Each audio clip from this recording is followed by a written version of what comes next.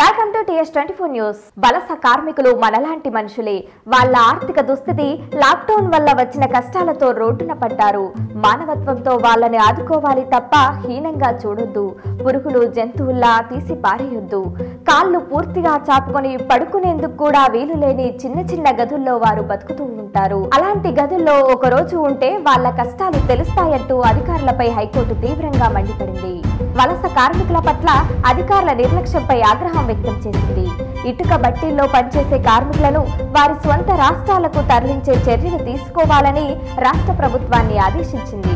బీహార్ ఛత్తీస్గఢ్ ఒరిస్సా పశ్చిమ బెంగాల్ మహారాష్ట్ర ప్రభుత్వాలతో మాట్లాడి రైళ్ళలో పంపించాలని ఉత్తర్వులు జారీ చేసింది. కరోనా సమయంలో వలస కార్మికుల్ని వదిలేయకుండా బాధ్యత గుర్తెరిగి వ్యవహరించాలని హితువు చెప్పింది.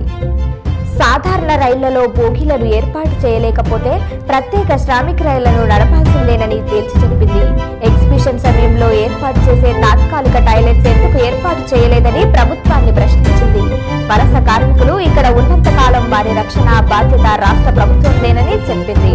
పిల్లలు మహిళలు వృద్ధులు గర్భిణీల విషయంలో ప్రత్యేక శ్రద్ధ తీసుకోవాల్సిందేనని పిటిషనర్ తరపు న్యాయవాది వసుధా నాగరాజు వాదిస్తూ శ్రామిక్ రైళ్ళు నడపాలంటే పది లక్షలు అవుతుందని రైల్వే శాఖ సాధారణ రైలుకు నాలుగు బోగీలను వలస కార్మికులకు కేటాయించడం లేదని చెప్పారు.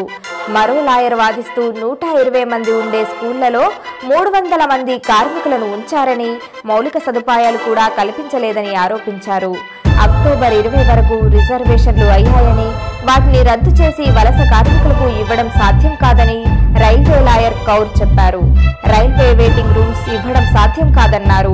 వాదనల అనంతరం హైకోర్టు కార్మిక సాంఘిక సంక్షేమ రైల్వే శాఖల అధికారులు వలస కార్మికులకు కల్పించిన వసతులను పరిశీలించి నివేదిక ఇవ్వాలని ఆదేశించారు. వివరాలను ఈ నెల ఇరవై రెండుకు వాయిదా వేసింది. రైల్వే శాఖ ఆదాయమే ధ్యేయంగా ఉండకూడదని సాధారణ రైళ్ళలో వలస కార్మికులకు నాలుగు బోగీలను కేటాయిస్తే ఈ సమస్య చాలా వరకు పరిష్కారమయ్యేదని పేర్కొంది బట్టీల్లో పనిచేసే వలస కార్మికులను వారి రాష్ట్రాలకు తరలించేలా ఉత్తర్వులు ఇవ్వాలంటూ professor Ramashankar Naik Melkunti lawyer PV Krishnaiah మానవ హక్కుల వేదిక ప్రతినిధి జీవన్ కుమార్ దాఖలు చేసిన పిల్స్ను శుక్రవారం హైకోర్టు మరోసారి విచారించింది.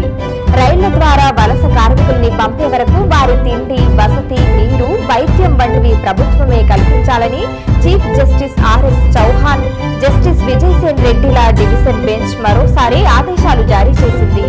వలస కార్మికులను వారి రాష్ట్రాలకు పంపకపోతే సుప్రీంకోర్టు ఇచ్చిన ఉత్తర్వుల్ని ఉల్లంఘించినట్టే అవుతుందని హెచ్చరించింది.